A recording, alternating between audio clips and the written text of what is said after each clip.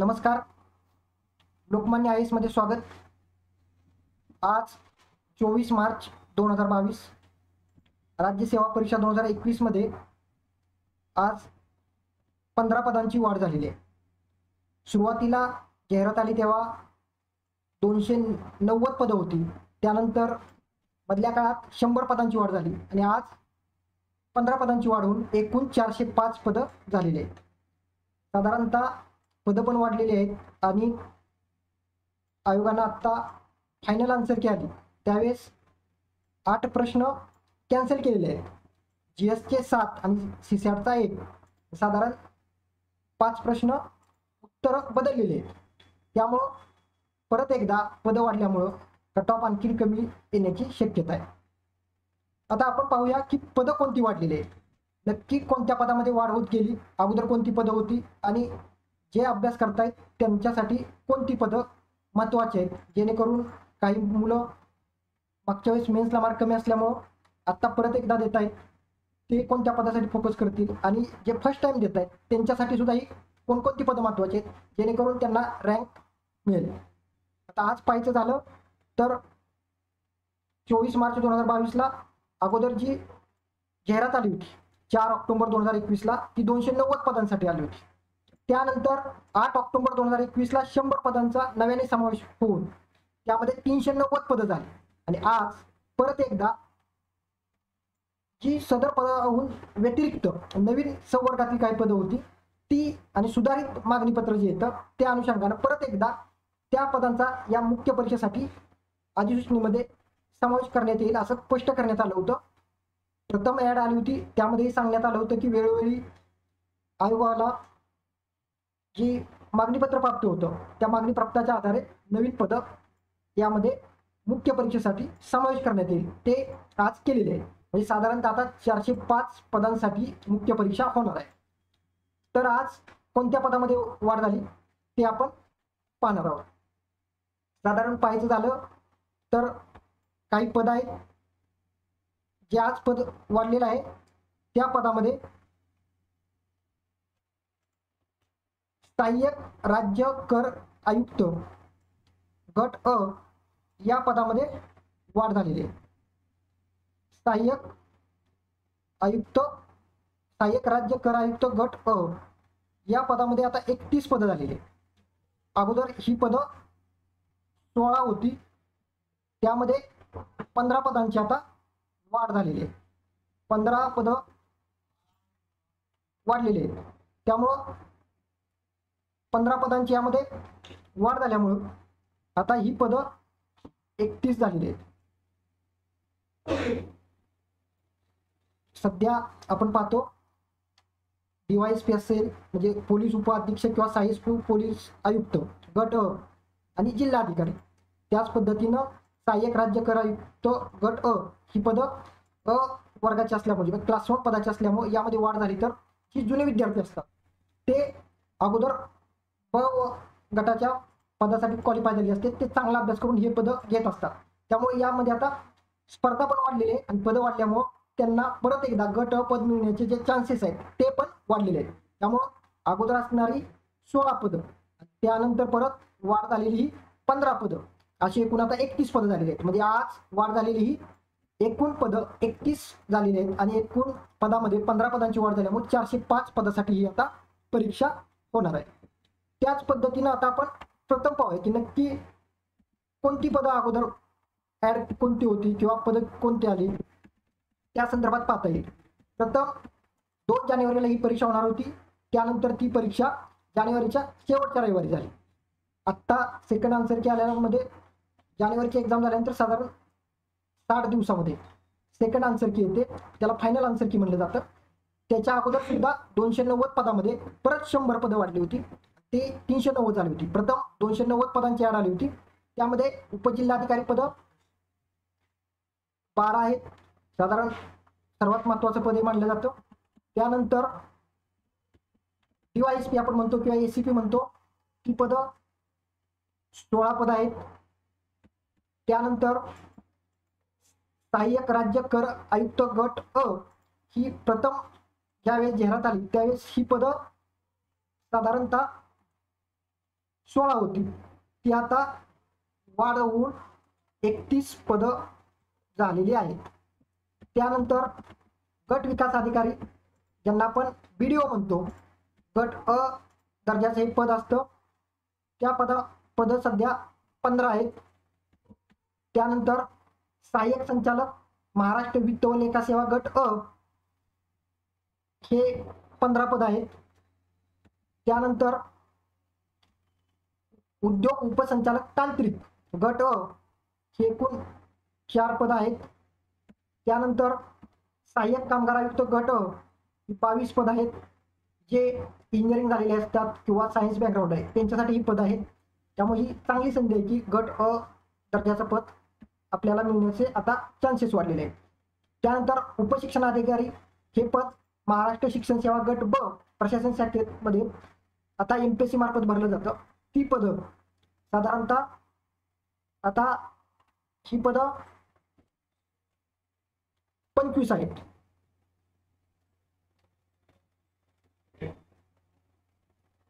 त्यानंतर कक्षा अधिकारी.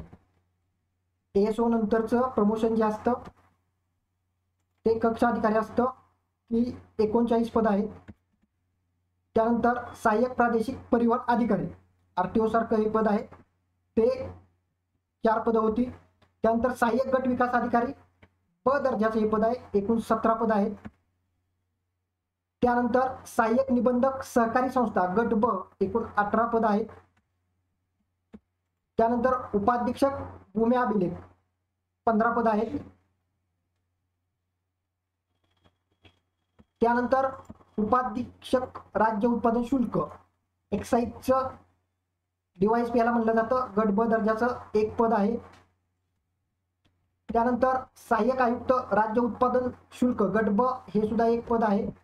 त्यानंतर कौशल्य विकास रोजगार व उद्योजकता मार्गदर्शक अधिकारी. गट ब हे एकूण सोळा पद आहेत. ही नवीन पद आता राज्यसेवेमध्ये ऍड झालेली आहेत. त्यामुळे पदांची संख्या सुद्धा वाढत चाललेली आहे.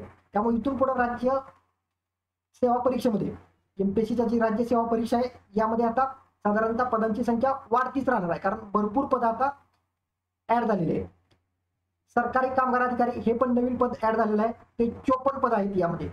अशा पद्धतीनं दोनशे नव्वद पदांची ऍड होती. त्यानंतर आठ ऑक्टोबर दोन हजार एकवीस यामध्ये काही पदांच्या ह्याच्यामध्ये वाढ झाली किंवा नवीन पद आली. जसं उपनिबंधक सहकारी संस्था गट अ दहा पदं परत आलेली आहेत यामध्ये ऍड झाली होती.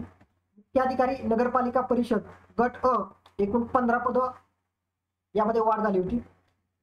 मुख्याधिकारी नगरपालिका गट ब पंच्याहत्तर पदं परत एकदा त्यामध्ये ऍड झाली होती. त्यामुळे परत एकदा जी सतरा संवर्गातील दोनशे नव्वद पदांची जाहिरात होती अगोदर आलेली ती जाहिरात तीन नवीन हे ऍड झालं होतं.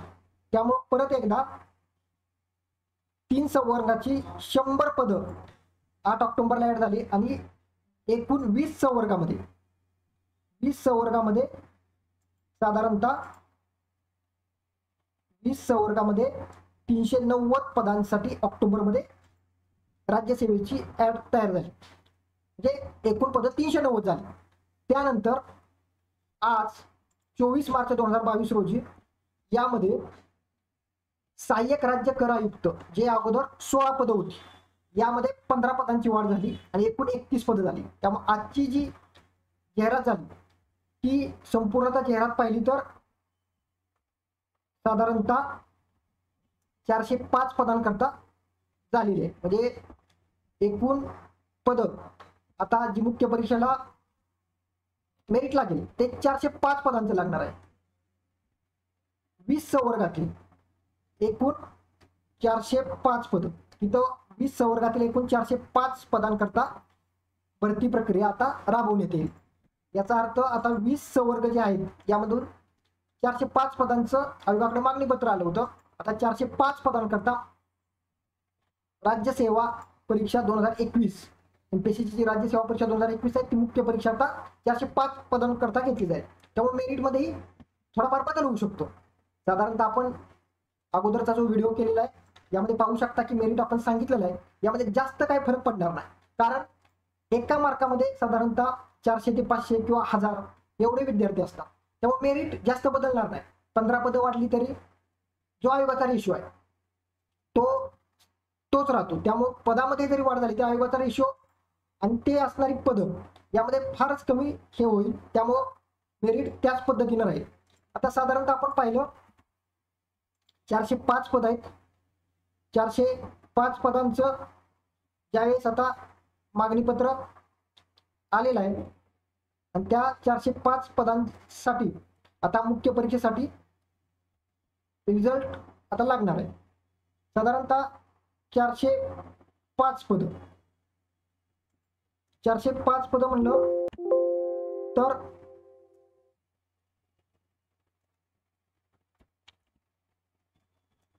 चारशे पाच पदांसाठी आता येणारी मुख्य परीक्षा होईल. यामध्ये आज पंधरा पद नवीन म्हणजेच एस एस टीची पंधरा पदं वाढ झालेली आहेत.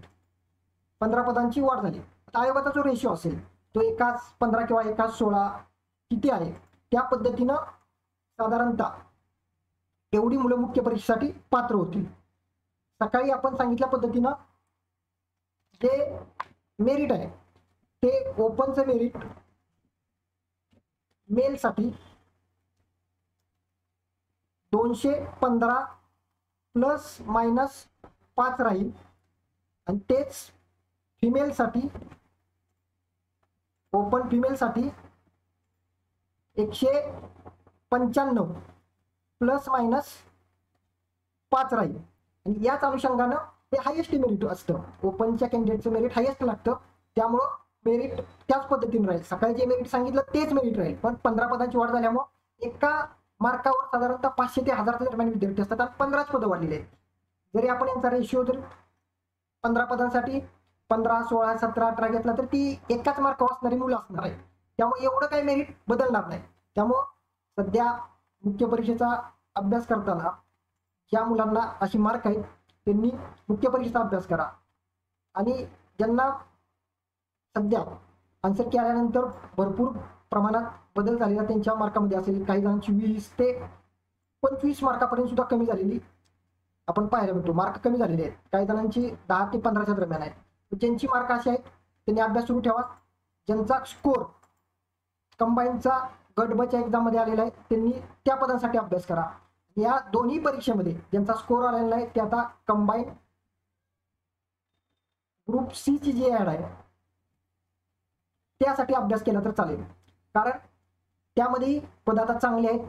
त्यामध्ये वाढ झालेली पद असल्यामुळं तुम्हाला त्यामध्ये एक्साईज इन्स्पेक्टर असेल किंवा कर सहाय्यक असेल या पदासाठी चांगल्या पद्धतीने अभ्यास केला तर तुम्ही ह्या वर्षी एक तरी मेन्स द्याल. कारण ह्या वर्षी पदं भरपूर निघालेली आहेत. गोल्डन चान्स असं आपण म्हणू. साधारणतः गेले दोन तीन वर्ष कोरोनाच्या काळामध्ये भरती प्रक्रियामध्ये खंडित झाली होती थोडीफार. ती खंडित भरती प्रक्रिया सुरू झाल्यामुळे पदामध्ये वाढ झालेली आहे. चांगला अभ्यास करा. पद मिळवा. कारण आत्ता मुख्य परीक्षेला जरी तुम्ही राज्यसेवेचा नसाल तरी आता येणारे एप्रिलमध्ये ॲड येणारच आहे. जी दोन हजार बावीससाठी असेल यामध्ये तुमचा अभ्यास तो कामी येणार आहे. त्यामुळे अभ्यास करतच राहा. जेणेकरून तुम्हाला यामध्ये चांगली मार्क पडतील. आज पदांमध्ये पंधरा पदांची वाढ झाल्यामुळे आता अजून वाढ होण्याची शक्यता साधारणतः आता आयोग हेच करेल. म्हणजे आता फायनल आन्सर की आल्यामुळं फायनल पद असतील असं मला वाटतंय. जेणेकरून इथून पुढं आता आयोग मेरिटच येईल आपलं. या मेरिटमध्ये कट ऑफच डायरेक्ट आपल्याला पाहायला भेटेल. म्हणजेच फायनल मेरिट असेल तेवढी मुलं आता मुख्य परीक्षेला क्वालिफाय असतील. त्यामुळं ज्यांना राज्यसेवेला आता कमी मार्क झालेले आहेत त्या विद्यार्थ्यांनी ग्रुप सीची एक्झाम आहेच लगेच. त्याच्यावर फोकस करा. जे कंबाईन क्वालिफाय झाले त्यांनी कंबाईनला फोकस करा. जेणेकरून कोणतंही पद सध्या मिळवण्यासाठी तुम्हाला त्याचा फायदा होऊ शकतो. त्यामुळं तुम्ही आत्ता या पदांसाठी जर पात्र झाला असाल मार्क एवढे असतील तर मुख्य परीक्षेचा चांगला अभ्यास करा. आणि नसेल तरी ग्रुप सी किंवा ग्रुप बीचा अभ्यास करून पद मिळवण्याची जे आपण म्हणतो ध्येय ते ठेवा. कारण यश अपयश हा एक आपल्याला आपण पाहतो की उंचावल्यासारखा खेळ असतो. यामधून बाहेर या आणि चांगला अभ्यास करा. जेणेकरून तुम्हाला चांगलं पद भेटेल. आणि तुम्हाला त्यामध्ये चांगलं पद मिळून अधिकारी बनण्याची जी तुमची इच्छा आहे ती ह्याच वर्षी पूर्ण होईल. थँक्यू त्याचबरोबर तुम्ही लोकमान्य आय एस या टेलिग्राम चॅनलला सबस्क्राईब करा. यूट्यूब चॅनलही सबस्क्राईब करा. जेणेकरून वेळोवेळी जी आयोगाची नोटिफिकेशन असेल किंवा आमचे काही अभ्यासाचे व्हिडिओ असतील ते तुम्हाला मिळत राहतील. थँक्यू